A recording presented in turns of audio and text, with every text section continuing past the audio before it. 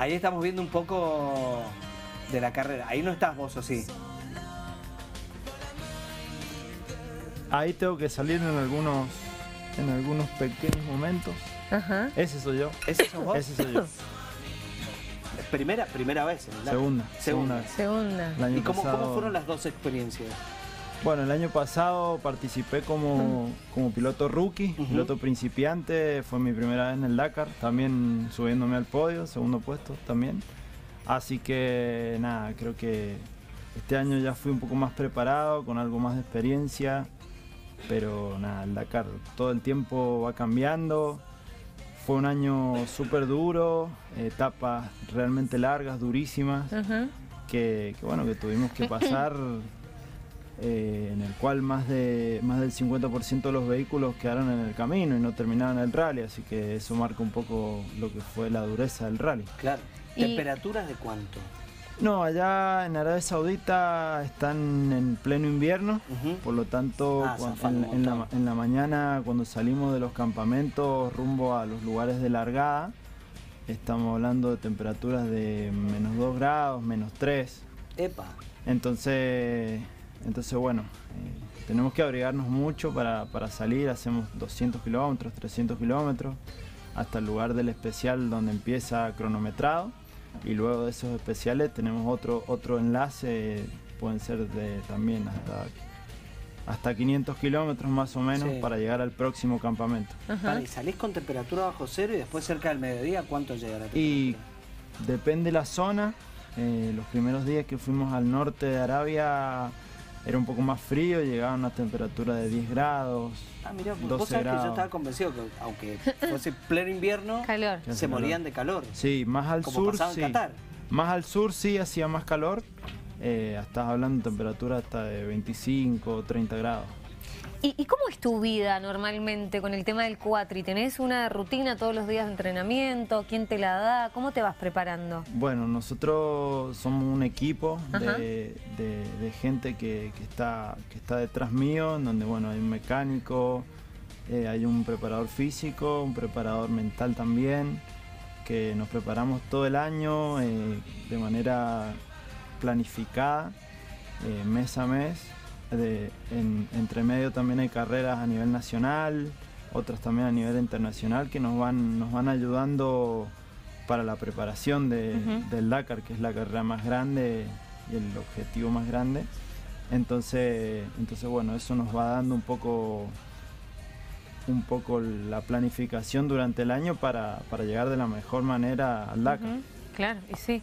Y Eh, cuando, cuando hablas de, de que tenías un preparador mental también, Sí. eh, un psicólogo, un coach, ¿qué, qué tenías? Un coach, un coach que, que, bueno, que día a día vamos armando todo lo que son las etapas. Eh, de acuerdo a su largo, al- al- a todas la- la- las características de la etapa, pequeñas cosas que a lo mejor me pueden ayudar a mi cabeza para que esté todo el, todo el tiempo fuerte y que no decaiga mi ánimo, mi, estado mental para, para poder seguir, porque llegan momentos en, los cuales realmente te mareas y, bueno, y querés abandonar o querés, sentís que, que estás incompleto. Entonces, bueno, esas cosas te ayudan a completar la etapa y bueno, día a día se va sintiendo. eh, me, me imagino que esto que estás hablando, cuando vemos las imágenes y el conocimiento que tenemos del Dakar, es mucha competencia con uno mismo, ¿no? O sea, Exactamente. no competís más allá de que tenés otras personas que están compitiendo, pero es el día a día ir compitiendo con vos mismo. Entonces debe ser un desafío más grande todavía. Sí, sí, en realidad la carrera, la carrera en sí está hecha para eso, Ajá. está para, para poner de rodillas a los pilotos, porque todo el tiempo te pone dificultades de las cuales no te esperás. Sí, a lo mejor te preparaste durante el año, pero bueno, son cosas muy específicas que te pasan solo ahí, cosas insólitas a lo mejor que, que tenés que saber eh, resolver ahí sobre, sobre el pucho para, para, para poder seguir. El- ¿Vos crees que este triunfo tuyo también tiene que ver con, con haber hecho una primera experiencia y haber entendido un poco cómo se maneja el Dakar y todo lo demás para después pegarle con todo? Creo que sí, creo que la experiencia hace mucho a los pilotos. Hoy por hoy también hay, muchos pilotos experimentados que, bueno, en cada uno de los rallies se hacen notar la experiencia eh, que van adquiriendo día, eh, perdón, año a año. Hay, hay gente que tiene más de 30 Dakar corridos y todavía siguen aprendiendo. Claro. Eh, porque justamente te va poniendo cosas el Dakar que, que nunca te las esperás. Claro. Entonces, eh, la experiencia hace mucho al piloto. Ahora, yo creo que una de las cosas más fuertes es que no tenés idea por dónde vas a ir. Claro.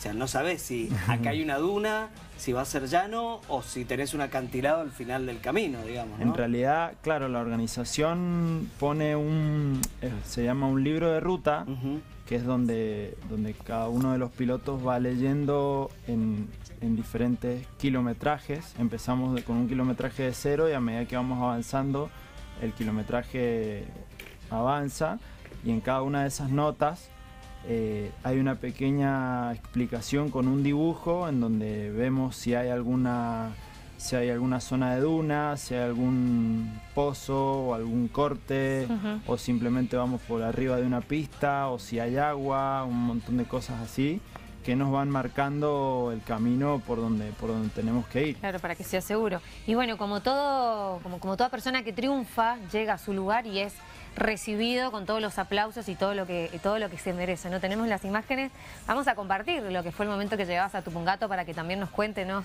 nos cuentes vos qué sentías en ese momento, tu pueblo, tu familia, tus conocidos, todos. A ver, cont- contanos, un poco cómo fue el momento. Bueno, la verdad que llegué y ahí en San José, a los pies del Cristo Rey. Ya me esperaron con una camioneta entrada de con una camioneta de defensa civil y un montón de gente Montón que de estaba ahí. Eh, me prepararon mi cuatriciclo que yo tenía acá para, para poder ir en cuatriciclo hasta la plaza. Eh, en eso, bueno, de los dos lados de la ruta, gente saludándome con banderas argentinas, No. eh, alentando, gritando.